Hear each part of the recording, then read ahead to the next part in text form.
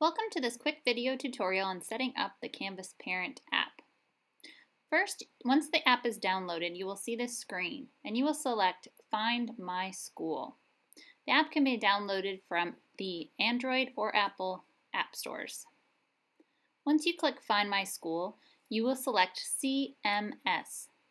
You'll see Charlotte Mecklenburg Schools pop up and you'll see two login pages, the left for staff and students, the right for Parent Observer. Click on the right Log into Canvas on the Parent Observer side. After that, if you have not created an account, at the very bottom, click Create Account. This will allow you to set up your personal parent account. Enter your first name, your last name, your personal email address, and it will ask you for a student pairing code. We will discuss how to get the student pairing code from your child's account in the next part of this video. Once you have the pairing code, you can click the blue button and set up your account. Let's take a look at the student pairing code side.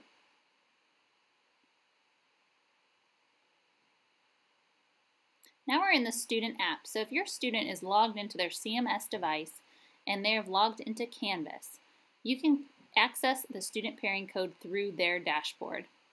So in the top left corner, you'll see three lines. When you click that, you'll see your student's account. Then you can click on Settings underneath.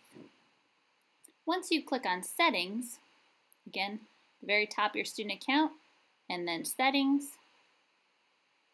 and you will see a button says Pair with Observer. This is the button that will generate a specific pairing code to use in the app. This code will expire once it's used one time or after seven days. Please go to each student or each child that you may have to obtain individual pairing codes for each of your students if you have siblings. So you only have to set up the parent account once and siblings, each one will need their own code. Thanks so much for watching.